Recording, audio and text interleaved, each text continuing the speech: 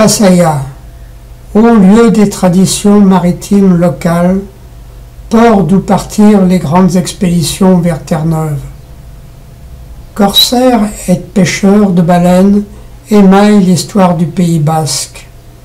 À Passaya, l'espace Albaola Factoria est un univers créatif où des artisans de la mer, une école internationale de charpente maritime, un club de modélisme naval et divers groupes volontaires font reconnaître le passé maritime du Pays basque.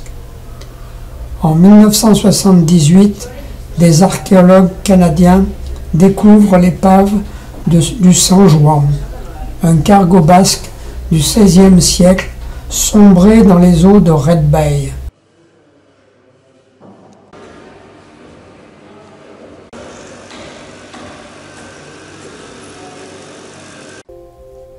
En 2013, c'est la réplique de ce navire qu'Européens et Canadiens entreprennent de construire.